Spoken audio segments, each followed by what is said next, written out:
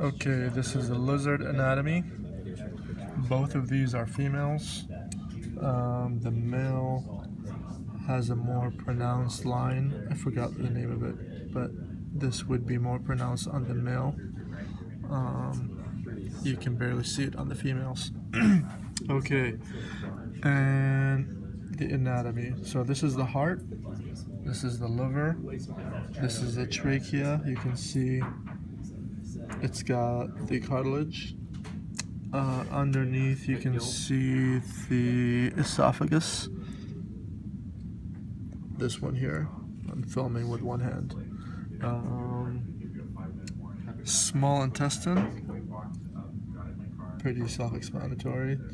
Um, the stomach is the big part. The this is here the large intestine.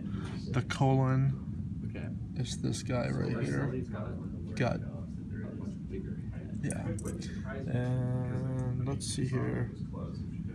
Cloaca. This is the cloacal opening. Um, and lastly, the oviduct. It's hard to. It's this little bulb right here, the ovary and the oviduct in there. Um,